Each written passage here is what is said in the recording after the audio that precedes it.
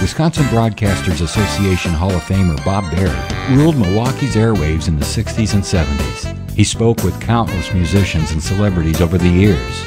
Bob collected remarkable recordings of these encounters, which he's now sharing with the public. Here's Bob. The most uh, influential cartoonist in history, Charles Schulz, is probably best known for creating the Peanuts comic strip featuring Snoopy, Charlie Brown, and a lot of others. In over 50 years, he drew more than 17,000 Peanut strips, producing more than $1 billion every year. NASA named the Apollo 15 command module Charlie Brown and the lunar module Snoopy.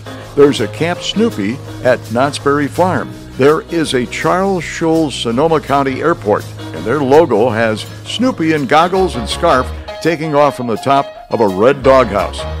And you've probably seen the giant Snoopy balloon in Macy's Thanksgiving Day Parade. And of course, no holiday would be complete without a Charlie Brown Christmas. Merry Christmas and happy holidays. Christmas time is here.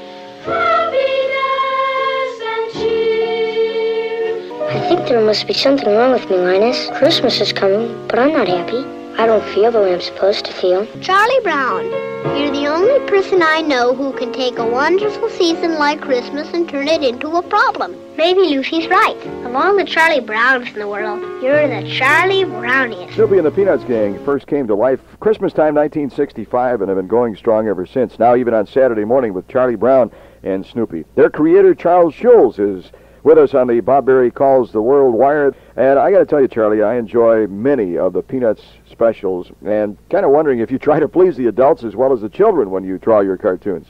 Well, obviously, I think the newspaper feature has never really been drawn for children. In fact, I don't know who I draw it for. I suppose I draw it mainly for myself and just hope that everyone else likes it. As to the television things, I suppose uh, they have received a children's label, but again, uh, I think the animators and myself try to think up things which we are funny or which we think are funny, and uh, again, just hope that they do receive the broad audience that they have been. And I think that's the only way you can do it. The minute, the minute you begin to slant something for a particular audience, you inevitably lose that audience. I'm still a one-man show in that Is I that do all right? of my own writing and drawing, but I have formed a corporation to help us control the quality of the licensed products which we have, in, Mhm. which would mean the books and the sweatshirts and things of this kind. What uh, may I ask? What what type of an income that brings? I'm sure that it's been published uh, before. Huh? Well, it enables me to um, buy a new hockey stick whenever I need one. what kind of comment do you get from uh, from parents, Charlie? Most of them seem um, quite happy with the shows. I think the only real complaints we've ever had with our television shows were some of the time periods. Some of the mothers seem to think that their children have to be in bed by 7:30. But of course, when shows run across the country this way, it's impossible to please every section of the country because it just can't be done. How did you actually create the Peanuts Gang? How did it come about? This was thought up a long time ago. I was working at art instruction correspondence schools in Minneapolis as an instructor, and I used to do a lot of drawing there. And uh, I gradually slipped into drawing little children because of uh, an older instructor, a cartoonist named Frank Wing, told me one day, he says, um, Sparky, which is my nickname, I kind of like those little kids you're drawing. You should stick with them. Keep drawing them. They look pretty good. And of course, I, I sold a cartoon to the Saturday Evening Post showing a little boy sitting on a lounge, and then later on I began to sell some other kid cartoons. and I just drifted into it. Charles, who does the voices for uh, Charlie Brown, Snoopy, and the rest of the gang? I would say that half of the voices on the animated shows are done by professional child actors, and perhaps the other half by uh, friends either of the producer or uh, some of his associates, uh, kids whose voices just seem to be especially good. Uh, they're not always consistent as far as boy-girl. We have frequently had have had girls do the boys' voices, and we uh, now have a little boy doing one of the girls' voices. But it takes quite a while to make one of those uh, cartoon shows.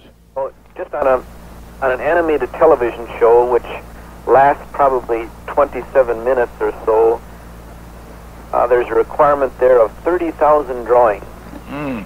So you can imagine how many there would be needed for a feature film. Boy, a lot of work, that's for sure, but it certainly paid off. All the pleasure you've given us throughout the years, uh, Charles Schulz, and thank you for uh, taking some time out. I appreciate your calling. Oh, that we always see such spirit through life. Bob Barry. Thank you for listening to Bob Barry's Unearthed Interviews. Be sure to subscribe and rate our podcast on iTunes or wherever you find your podcasts. You can find all the episodes at wisconsinbroadcastingmuseum.org. Check out Bob Barry's book, Rock and Roll Radio Milwaukee. Book sale proceeds support Angels Kids Fund and Donate Life Wisconsin. The preceding program was made possible by a generous contribution from Terry Bond.